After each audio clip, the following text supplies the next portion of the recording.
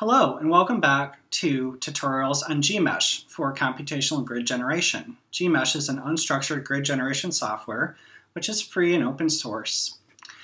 Today I want to talk about fields, which is one way to control the resolution and say grid density as a function of space for particular grids. In my time at NASA, we actually struggled to find these types of solvers and control over unstructured meshes for computational fluid dynamics. I want to show you just the most simple way to change your mesh and control mesh density near certain structures. I've created this simple example which you see on your screen to illustrate this process. I basically have a flow with maybe that comes in this left boundary and exits the right. I would imagine the upper part is maybe a free field boundary, and this is a wall and a wall lower here. So I have a backward facing step and I have a cylinder in the flow. It's just for illustrative example. This is not really any kind of flow I'm particularly interested in.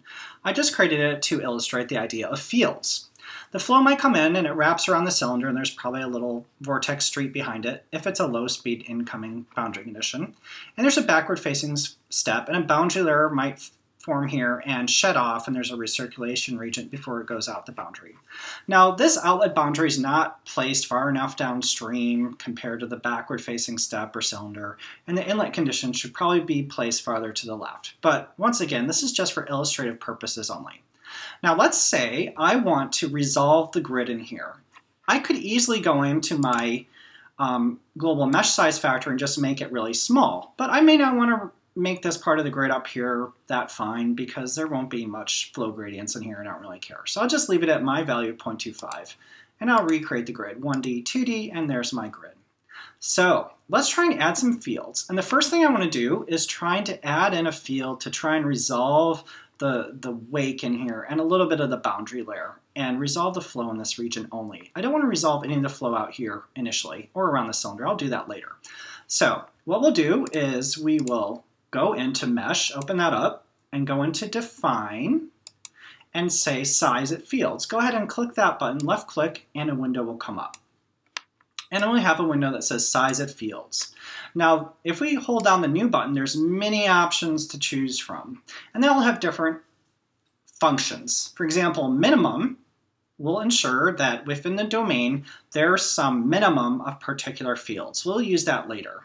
There's also structured, which loads in files. There's thresholds. There's a maximum field or maximum number of grid points. We can add in gradients and um, and then most importantly, you might be able to even put in a boundary layer with certain parameters. For example, let's do boundary layer. And a window comes up and all you would have to do is fill out these little form and um, hit apply and it'll apply the field. If you go under help, it'll tell you what each one of these little values are.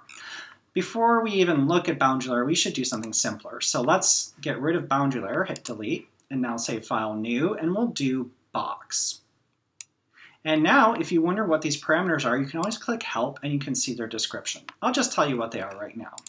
Thickness is the thickness of, like, say, the box itself. We're just going to set that to say 0.10. That's the thickness between the inner and outer parts of the volume in the box.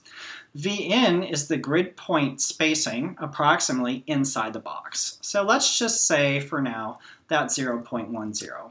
The grid point spacing outside the box will set to be a higher value. Let's say it's 0.50.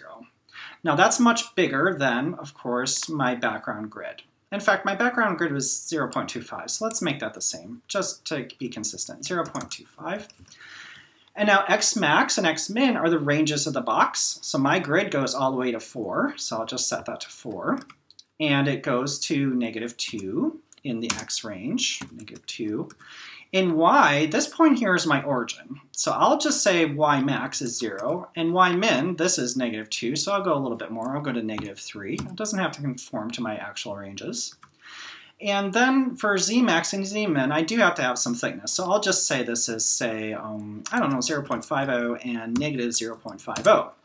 Okay, make a note of these parameters. I hit apply, and it's done. And all I need to select select this background field, apply. All right, close it up. And now let's regenerate our grid with these options, 1D, 2D, and watch. Now my new grid is created. You'll see I have a much finer mesh, but you'll see in this region, in the wake, the mesh is even finer. Let's zoom in there to get a visualization. You can see that going along right there. So I think my mesh is too fine and up in here. So let's adjust that one more time. Size at fields, going and click box. And let's say V out will now be, let's just put it as 1.0. And V in will leave as, say, 0.05 now, which is much smaller. Let's hit apply and see what happens. 1D, 2D. There's my new mesh. So you can see in this box re region in the range, I have really defined it. It might be better if I make my box region go a little bit above Y and maybe make it a little bit finer um, outside the mesh just to refine this region. But we'll do that later. We'll just leave it coarse. So let's do it one more time. Size at fields, box. You can see this is an iterative process, which is kind of fun. Let's just make the 0 point, say, 0.5. So it's about 5 centimeters if I'm in SI units. And for outside the box, I'll make it 0.75, just to make it a little bit finer. And let's make this, leave it at 0.5, I like that, nice and fine. Apply and close, 1D, 2D. Let's see what happens. There we are. Now we can see in this wake region, I have a very, very fine grid, and it slowly moves out to a coarser grid.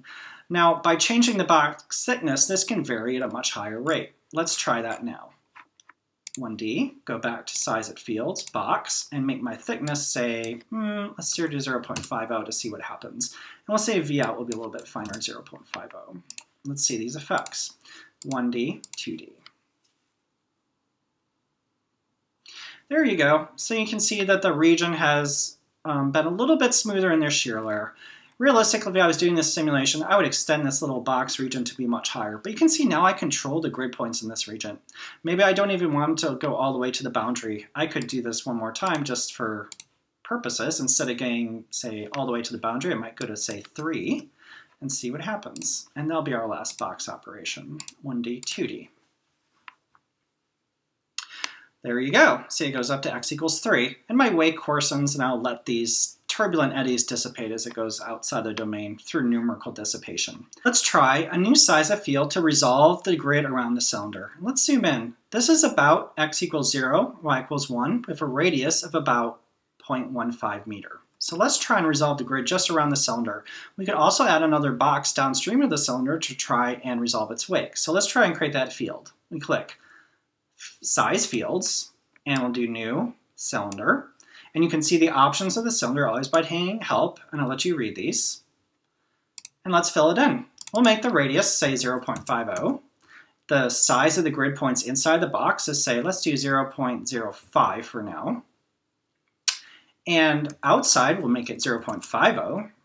And the x-axis, y-axis, and z-axis are the axis of the cylinder. We'll leave those as what they are because it's coming out of the page. X center is at 0, and y center of 1 we're all set. Hit apply and make sure it's set as background field. Now let's generate it. 1D, 2D. There you go. We've increased the resolution of the mesh around the cylinder, but it doesn't have much of a thickness. Let's make V out a little bit smaller to be 0.25. Apply that and go 1D, 2D, and you'll see this is our new mesh. It's that easy. But you might notice we've lost our box. It's because for this particular system, in size fields, we have two independent field operations, and they both can't be enabled at once. And so we need to take the minimum of both so we can have them both applied. So we'll go to New, Minimum, and we'll say the field list is 1 and 2. Hit Apply, and we'll set that as the background field, Apply. Now go to 1D, 2D, and we'll generate our mesh, and we'll see what we get. So now we've applied both fields simultaneously. We've taken the minimum field spacing between our two particular functions. You can see, and let's zoom in here, how our grid is more resolved around the cylinder, and of course, a little bit near the boundary layer here, and of course, in the wake. Now, we can always go back into other fields by clicking Size Fields, and you can play with any number of these values and look up in perhaps the Help menu to get you a better idea of how the fields form. You can imagine that you can resolve turbulent wakes, shear layers, and boundary layers through a combination of these fields and then selecting the minimum operation for the different fields right here. This is probably the most important one, which you set as your background mesh. Then you type in the list of your field operations for your particular case. This technology really hasn't come into play in the market until the, really the last maybe five to 10 years. It's quite amazing that it's available in a free product. Anyway, it's a great way to control your particular boundary layers. Even then, you can still go in and you can smooth your meshes in 2D, for example. And note that these also apply, of course, in three dimensions because the field functions themselves are, of course, three-dimensional and work on surfaces, lines, and volumes easily and respectively. Thanks a lot for your time today. I'm Professor Steve Miller.